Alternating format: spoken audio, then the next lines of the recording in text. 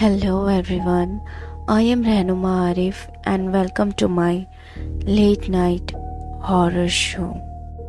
बहरहाल मुंबई में काफ़ी ठंड हो रही है। मौसम काफ़ी मज़ेदार हो चुका है एंड ये मौसम में लाइट्स ऑफ़ करके रज़ाई के अंदर हॉरर स्टोरी सुनने का मज़ा ही कुछ और है। खैर मैं तो फ़िलहाल कॉफ़ी पी रही हूँ क्योंकि मुझे आप लोगों को स्टोरी सुनानी है। तो कॉफ़ी पीते पीते चलते हैं और शुरू करते हैं हमारी आज की कहानी।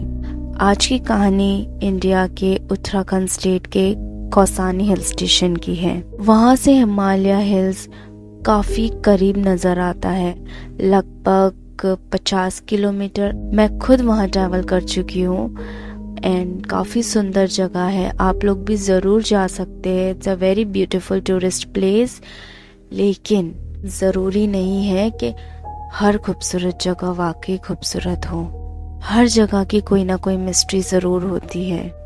जब मैं कौसानी गई थी, काफ़ी रिसेंट की बात है। इन ईयर 2019 तभी लगभग पाँच बजे के बाद शाम को होटल से निकलना मना था। जब मैंने इसके बारे में होटल वालों से पूछा, उन्होंने सबसे पहला रीजन ये बताया कि हिल्स के ऊपर अंधेरा बहुत जल्दी हो जाता है। And the second reason they told me ये जानवरों का डर बहुत है। इवन पहाड़ी कुत्ते भी काफ़ी खौफनाक होते हैं। And the most important topic is Himalayas and जो पहाड़ियों पे रहते हैं, जो वहाँ के पहाड़ियों के रहवासी होते हैं दे आर टू सुपरस्टिशियस मैंने आपको मेरी पिछल पैरी वाली स्टोरी में भी बताया है। मैंने आप लोगों के साथ काफ़ी बार इस चीज़ का ज़िक्र किया है कि जो हिल्स पे होते हैं, वो बहुत सुपरस्टिशियस होते हैं especially North India Pakistan Bangladesh side ज़्यादा लोग भूत प्रेत की चीज़ों को मानते हैं। एंड जब मैं गई थी, तब मेरे साथ भी एक इंसिडेंट पेश आया था। वो भी मैं आपके साथ शेयर करूँगी बट इस वीडियो में नहीं in some other video for sure अगर आपने मेरे चैनल को सब्सक्राइब नहीं किया है तो आप प्लीज़ सब्सक्राइब कर लीजिए एंड बेल आइकन भी ज़रूर दबाइए। तो चले पढ़ते हमारे आगे की कहानी की तरफ़। लेट्स गेट स्टार्ट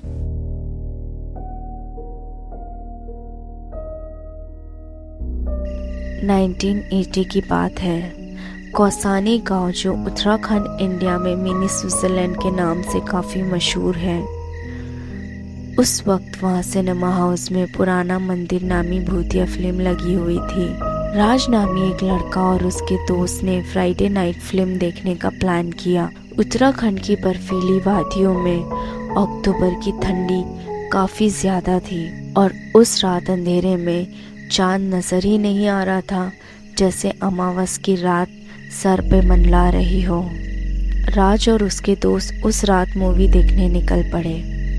तीन घंटे की मूवी देखने के बाद रात बहुत हो चुकी थी। रोड पे काफ़ी अंधेरा हो रहा था और एकदम सुनसान सा माहौल था। गाँव हिल स्टेशन पे होने की वजह से शेर और भेड़ियों के हमले का भी डर लगा रहता था। और वो सब दोस्त अलग अलग मोहल्ले में रहते थे। शुभम, शिराज और पंसल एक मोहल्ले में रहते थे और राज और श्रीकांत एक मोहल्ले में। हॉरर मूवी देखने के बाद सब खौफ से चुपचाप अपने अपने घर की ओर निकल पड़े। राज और श्रीकांत एक साथ घर की ओर निकले, क्योंकि उनका घर आसपास ही था। रोड पर कुछ कदम चलते ही राज ने खामोशी का मंजर देखा तो मस्ती से श्रीकांत से कहा, क्या हुआ बच्चू? इतना जल्दी डर गए? श्रीकांत ने कहा, राज प्लीज़ मुझे कोई भूत भूत से डर वर नहीं लगता। मुझे तो बस जानवरों का खौफ है। अच्छा झूठे भूतिया मूवी देखकर तुम काफ़ी डर चुके हो। मुझसे तो झूठ मत कहो। श्रीकांत, अरे जाओ जाओ। मेरा घर तो आ गया। तुम अब अकेले अपने घर तक चले जाओ। तब मैं मानो कि राज निडर है और मैं डरपोक। ओहो, श्रीकांत, मैं तो मज़ाक कर रहा था। तुम तो मेरी बातों का बुरा ही मान गए। फिर श्रीकांत बोला, लेकिन राज बाबू मैं मज़ाक नहीं कर रहा।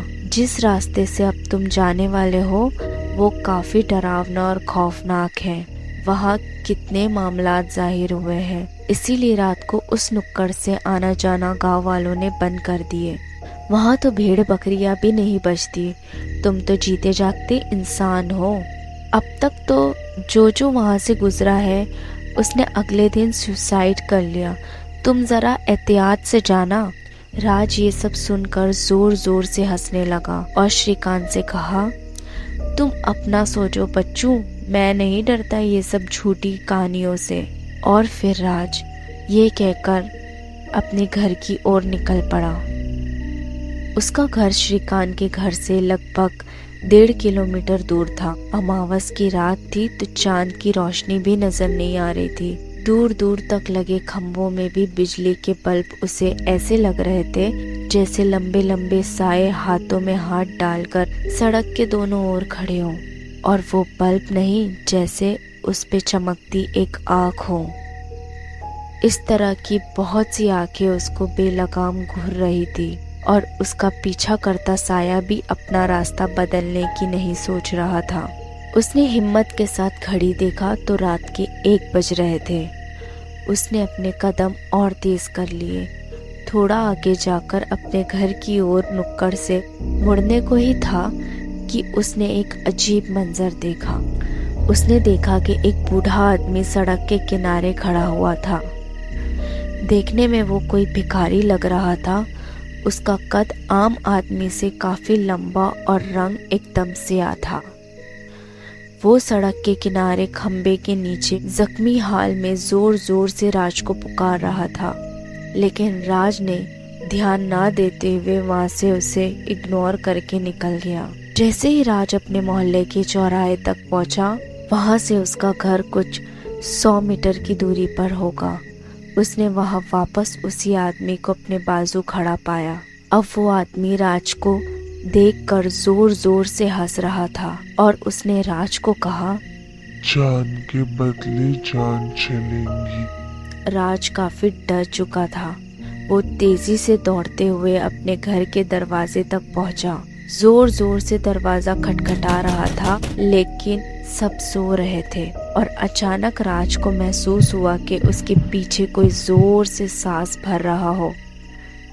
लेकिन राज की हिम्मत नहीं पड़ी कि वो पीछे मुड़कर देख सके और वो वही बेहोश हो गया। सुबह जब राज की आँख खुली, तब उसने खुद को अपने कमरे में पाया।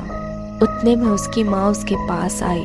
तब उसने सारा वाक्य अपनी माँ से बताया। उसकी माँ ने उसे ये कहा कि वो रास्ता काफ़ी खौफनाक है।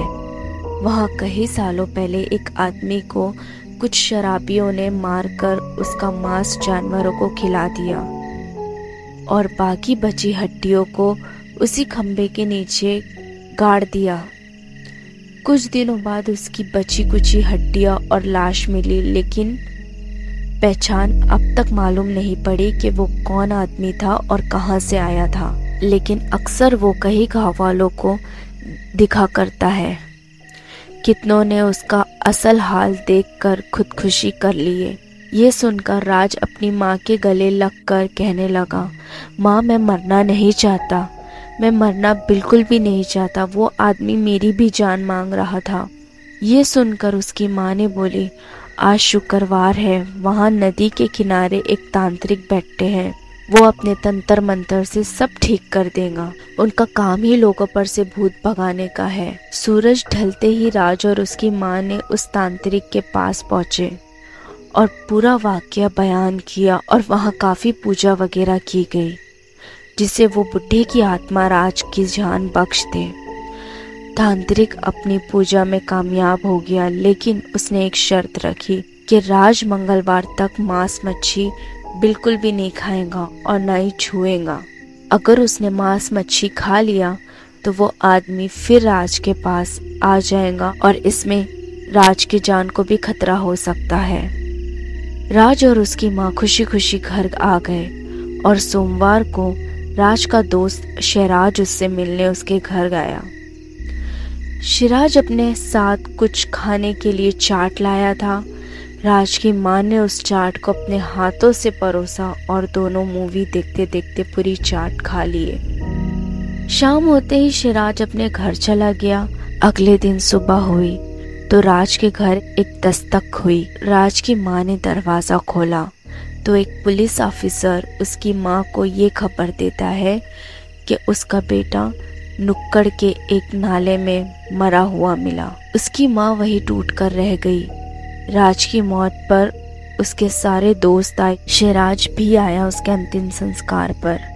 राज के दोस्त उसकी माँ को दिलासा ही दे रहे थे, तभी उसकी माँ ने शिराज को देखकर अपना गम ज़ाहिर की, क्योंकि शिराज ही एक उसका वाहिद दोस्त था, जो आखिरी लम्हा उसने राज के साथ गुजारा था। माँ ने ये बोली कि बेटा, कल रात राज तुम्हारे साथ कितने मज़े किया।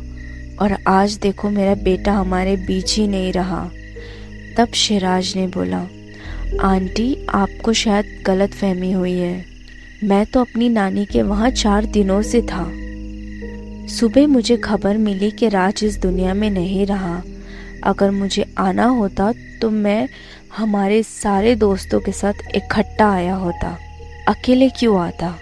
ये खबर सुनने के बाद उसकी माँ काफ़ी चौक जाती है और बोली, अगर वो तुम ना थे तो कौन था? शिराज ने कहा, आंटी, मैं तो नहीं था।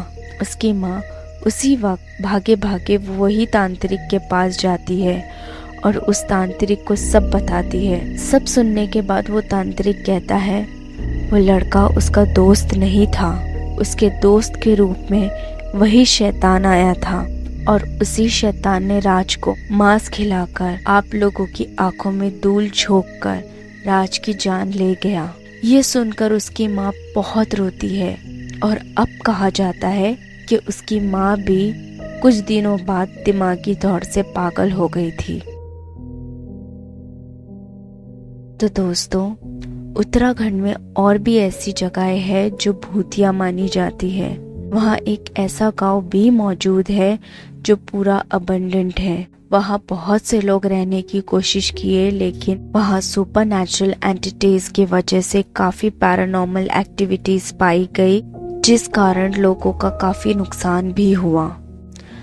तो बस अब स्टोरी को यही एंड करते हुए, अगर आपको मेरा ये वीडियो अच्छा लगा हो तो please do like share subscribe to my channel मिलते हैं हम हमारी अगली वीडियो में। Thank you